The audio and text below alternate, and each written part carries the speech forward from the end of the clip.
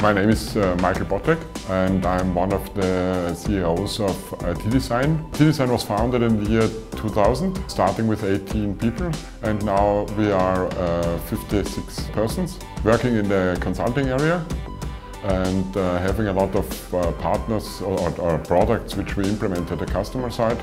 And uh, One Identity is a special one because they have a very good solution.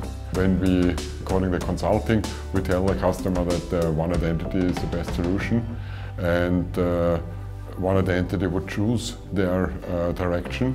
The trust is one of the most important things in, in the area of identity management because there are a lot of solutions out there and uh, normally the customer spends a lot of money for that.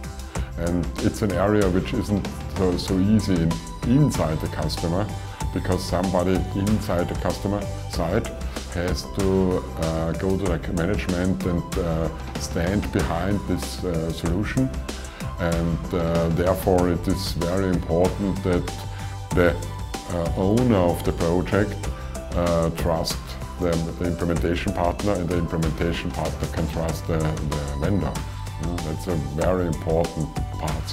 What I also like is the uh, long-term plans they always have with the partner. Know what, what, what is important, know how to uh, uh, go to the customer side, uh, and they think partnering.